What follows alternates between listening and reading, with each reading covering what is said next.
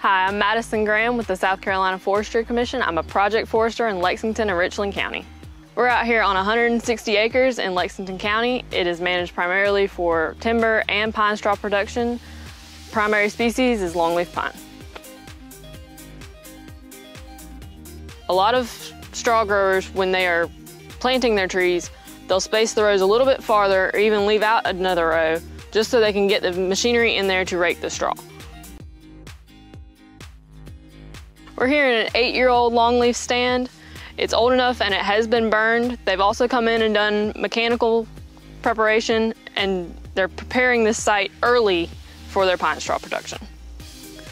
Some straw growers will also push thinnings back a little bit just to get the extra years that they would not have if they went ahead and thinned with that extra straw production. We're here in a stand of approximately 25 year old longleaf. It's been fairly heavily thin recently, but we've got a lot of this hardwood regeneration in here. Other areas on this track have been mechanically and herbicide treated. When you're doing pine straw, you really need to make sure you have a clear understory or else your pine straw is going to be very dirty.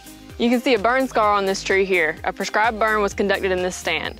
Prescribed burns are good for a lot of different species and helping reduce it, but some species, depending on when the burn was conducted, can regenerate and sprout back very badly, so herbicide and mechanical means may also be necessary. We're in another stand of 25-year-old longleaf pine. This is currently being raked for pine straw.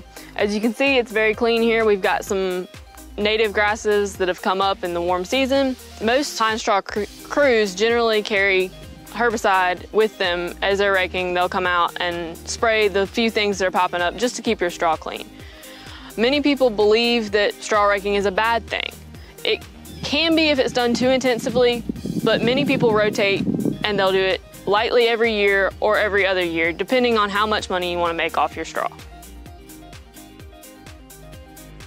Another consideration when harvesting pine straw is to have somewhere to store it. Pine straw theft is a big thing, but you also want to be able to keep it secure and dry so, until you can get it to the market.